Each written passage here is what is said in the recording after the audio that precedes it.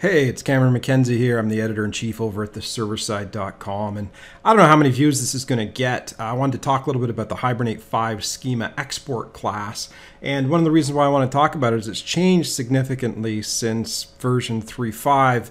And I wrote a book a little while for 3.5. So if anybody does examples in 3.5, the schema export class doesn't work. So I don't know if anybody's got that old copy hanging around, but if anybody was, I wanted to show you just uh, how to make things work.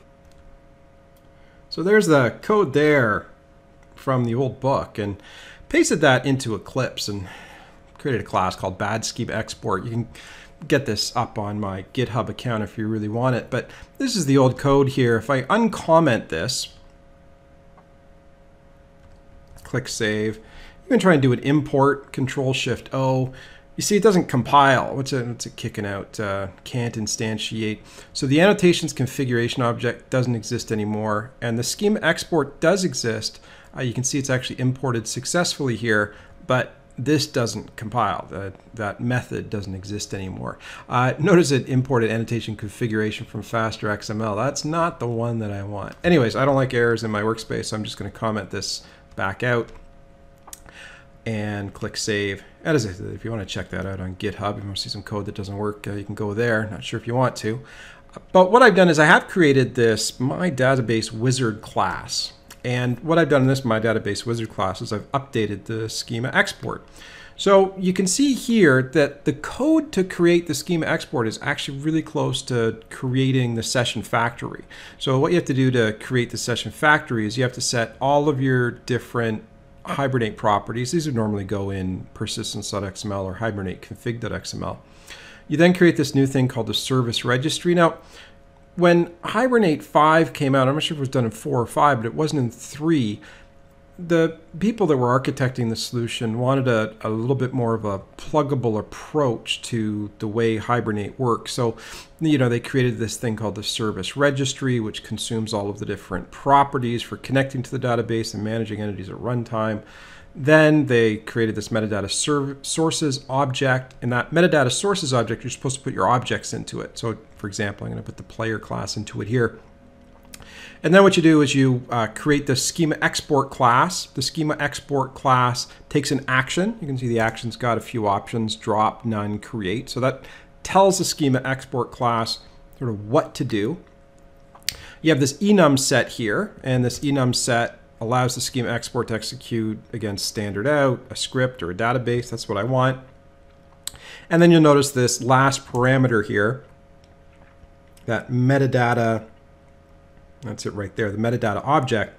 And we get that by calling the build metadata method over here on the metadata sources, which we added our player class to.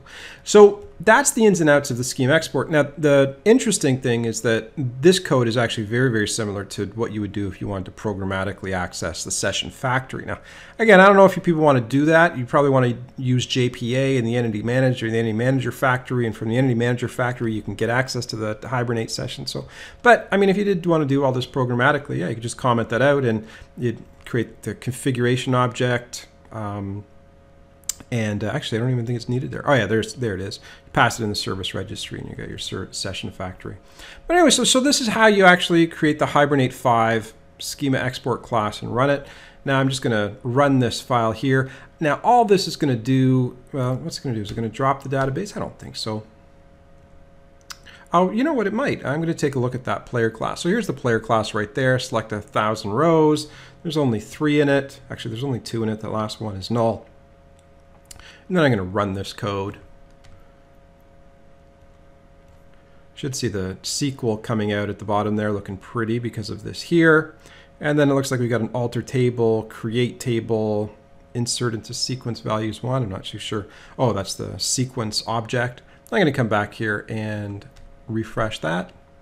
And there you go. The whole database has been uh, recreated. So uh, that's the code there, dropping the database first and then recreating it. So anyways, if anybody's got a copy of that old book, I got to put a new one out soon. So um, bear with me. But uh, Or if anybody just wanted to programmatically create the database, there's something dangerous about putting, hey, drop the database and then recreate it into you know a, a persistence.xml file just in case that makes it to production and you lose your trillion records in production there. So, um, so maybe doing it programmatically and scripting it and attaching it to your tests. Uh, you know, maybe there's some virtue in that.